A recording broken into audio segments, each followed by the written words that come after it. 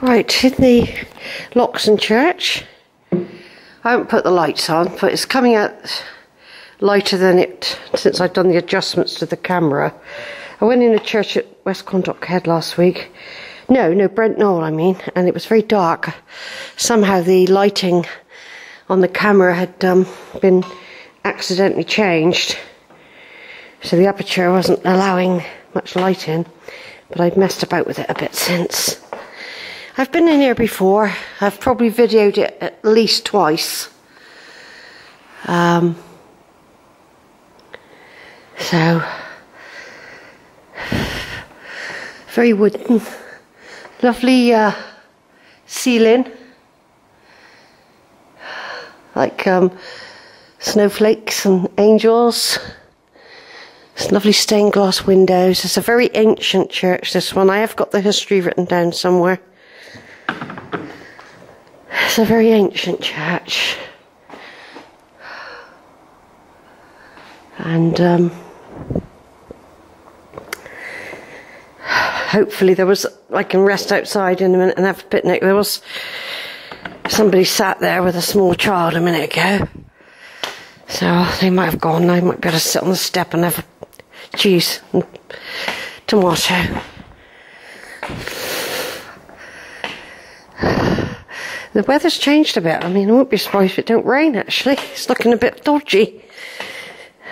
But at least I've got the, not the bulk of the walk. I wouldn't say I was even halfway yet. Um, I've got to get up the other side of the valley yet, above Loxton on the other side, and get along that track before I can class myself as halfway back. This isn't halfway. The Crooks Peak is very close.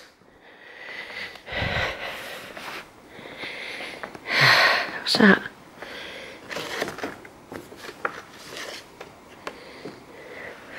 Right then, so it's just a small video of the church, stone church, ancient church. I have got I have got information somewhere about the church. So nice to have a visit anyway.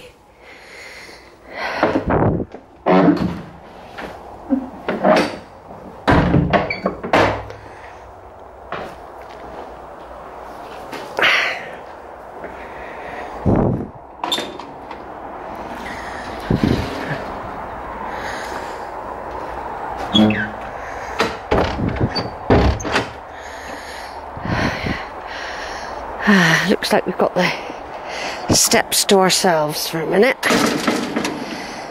There is a seat there. Um, I might sit here. There's the uh, Peak, which I was up, of course, and uh, tried to get down and got into all sorts of difficulties. So I had to go back up, and it was baking hot at that point.